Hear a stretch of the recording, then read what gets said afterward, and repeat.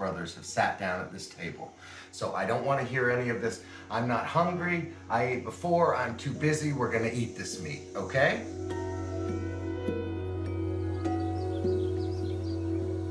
So where were you? Doesn't matter. Matters to me. I'd be lying if I told you I understood that boy. But I love him.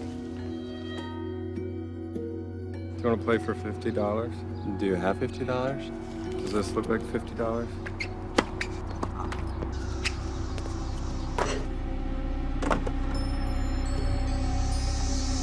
Plumber came by today. It was Coach Rippington. He was with some little girl. You were so great at football, Connie. You could have played college. Could have gone pro. What's he talking about, Connie? What did he do to you?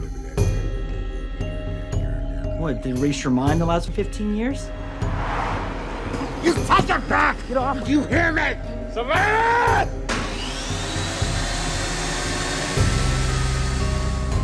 This night, this time, we shall be redeemed.